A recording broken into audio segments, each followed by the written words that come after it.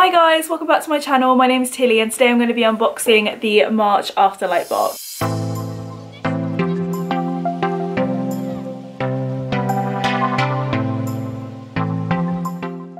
I do actually have two boxes here. I think one of them is obviously the March box and then the other one is the Helen Hoang box. I thought it might be quite nice to unbox both for you today. But we'll start with the March box first. So the first thing I'm seeing is the spoiler card. As always, I'm going to put this to one side and we'll look at it at the end. I love this packaging, but I can't quite tell what this is. So let's open it up and have a look. Oh, cool. So we've got this glass mug, which is just really pretty. It is fandom neutral as Afterlight tends to be, but that's really cool. I'm guessing you could still still have a hot drink in there but it would also be really lovely for the summer with a nice cold refreshing drink as well. And I've just noticed that it's got a cat on it. How adorable. Okay and then the next thing I'm spotting is this. So this is kind of like an art deco inspired sunglass or glasses case which is quite a nice idea. I don't have to wear glasses anymore but this will definitely come in handy for my sunglasses. And then we've got some cute character art. This is really pretty. I love the character art that comes in Illumicrate boxes. And then as always on the other side we've got the author's letter. And then that brings us on to the book itself. I think I've said it before that I'm slightly disappointed that Illumicrate don't seem to be doing their little pouches anymore. As I said last time, it would be really nice to see like a green Afterlight inspired pouch for the book, so it is a little bit more of a surprise than the bubble wrap. So I've taken out the bubble wrap and it is really, really pretty. I love the colour scheme of this. I love the gold foiling. I'll, as always, put the original cover on screen for you now so that you can see the difference. And then we've got some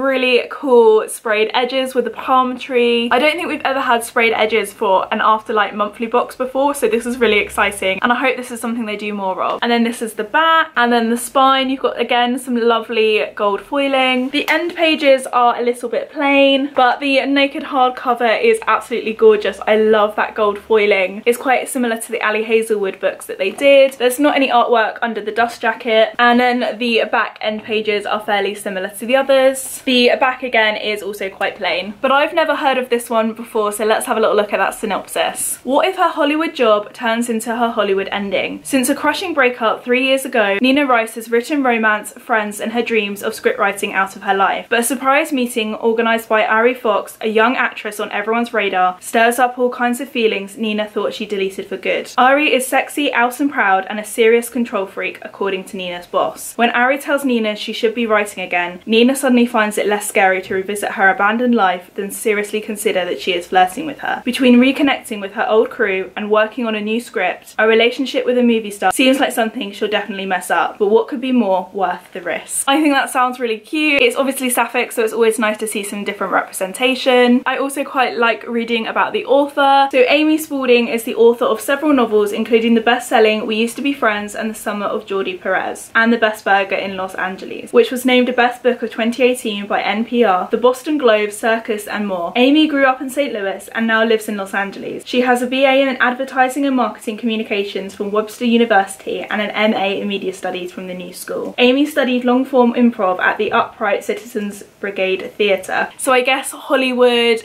acting, media is definitely own experience so that's going to be quite interesting to, to see that from that kind of perspective. I do think this one sounds a lot of fun and I'm really excited to give it a read. So let's have a little look at that spoiler card. So first of all we've got the motion picture frosted mug and this was designed by Stacey McAvoy Caunce. This adorable frosted mug features a number of Hollywood elements including some hidden nods to our book of the month. Oh that's going to be really interesting. And then we've got the Hollywood Glamour glasses case designed by JK Store your sunglasses in this Art Deco themed case, ready to use whenever you feel like shielding yourself from the paparazzi. They've definitely gone with the theme this month of Hollywood, glitz and glam, and yeah, I'd say I'm fairly pleased with the box this month. They are definitely items that I'm going to use. I will probably use the mug most of all, but this is definitely going to be handy as well to keep my sunglasses safe. And then that brings us on to the Kiss Quotient set. So I have put the books in order so that we can go through them chronologically. So I have only read the Kiss Quotient and the Bride Test Test. The Kiss Quotient I absolutely loved. It's been one of my favourite books this year. The Bride Test I didn't find as good. I found the representation a little bit uncomfortable, but I will talk more about that in my monthly wrap up. So as I said, let's start with the Kiss Quotient. So this is the cover and I absolutely love this. I think this is such a lovely cover, but it's quite possibly the sprayed edges that I just think are fantastic. I mean, look at those. I don't know if you can see them. I'm hoping you can, but they just look absolutely fantastic. Then we've got some lovely character art on the back and then this is the spine. And then inside as well we've got some lovely artwork. The front cover has got the equations. Again, I'm really hoping you can see that, but it is quite a light colour. There's no art underneath the dust jacket. This is the artwork at the back. And again, the equations go onto the back. And then there is a quote saying, I like you better than calculus and maths is the only thing that unites the universe, which is obviously a quote from the KISS quotient. I'm so pleased with this. I just think it looks absolutely beautiful. And then this is the heart principle, which as I said, I didn't enjoy as much, but I do still really love this edition. So this is the front. Again, it's got some really pretty sprayed edges. I think the sprayed edges on the KISS quotient I prefer, but I do still think these are really cute. Again, I'm really hoping you can see it because it is quite a light colour. The artwork on the back is also so, so cute. I love that imagery. And then this is the artwork on the back cover. I'm pretty sure this is the scene where she gives him a haircut and I love that he's wearing his I Heart Taxes t-shirt. The planes again follow through onto the front cover. Again, I don't know if you're going to be able to see this. There's no artwork on the dust jacket again. These are the end pages and then again the artwork follows through onto the back cover. And then this one's got a quote that says everyone deserves to love and be loved back everyone. And I've also just noticed that there's also a quote on the back. So this one says my heart works in a different way but it's yours. You're my one. And the quote on the back of the kiss quotient says when you love someone you fight for them in every way you know how. And then that brings me lastly on to the heart principle. As I said I've not read this one yet but I am so excited to give this one a go because this is Quan's book. I hope I'm pronouncing his name right but he has definitely been one of my favourite characters throughout. Sorry I didn't quite explain it very well. So the first book follows Stella and Michael. So Stella has autism. She's never been in a relationship so she hires a male escort to teach her how to have sex. And then the second and third books follow different couples that are kind of within that friendship group or world or somehow connected to the characters. But yes heart principle. I love the cover as always. I think these are my second favourite sprayed edges as they've got little koi fishes and little notes. I think that's really adorable. And then we've got some lovely artwork on the back and I'm going to remember to tell you what the quote is this time. The good thing this broken heart of mine can feel is love for you. And then again we've got some beautiful artwork on the end pages. The naked hardback has the kois and the music notes.